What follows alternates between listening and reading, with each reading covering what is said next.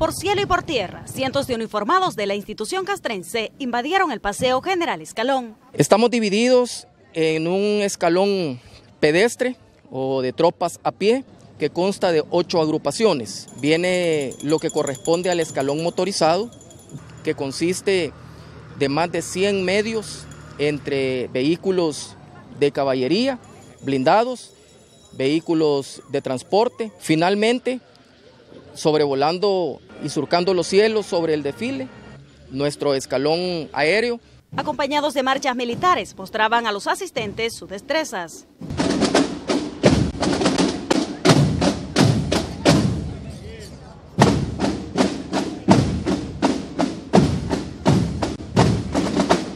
Caracterizados por su rigurosa coordinación, a más de un asistente, lo motivó a querer formar parte del desfile.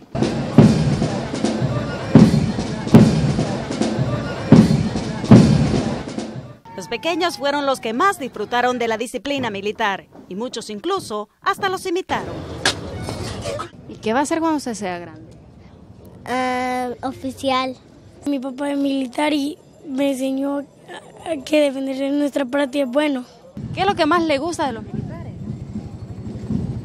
Los, los militares que andan en caballo. Aquí la lluvia no importó para que se disfrutara de uno de los desfiles más esperados. Sol, lluvia, siempre estamos acá. Y sin duda captar la mejor imagen fue el objetivo de muchos. Para que nos quede de recuerdo, para conmemoración de este día. ¿Y siempre viene usted este Sí, todos los años. ¿Qué es lo que más le gusta? Pues el desfile de los caballitos. Son los más bonitos y las tanquetas. ¿Viene con su familia? Sí, aquí está toda mi familia.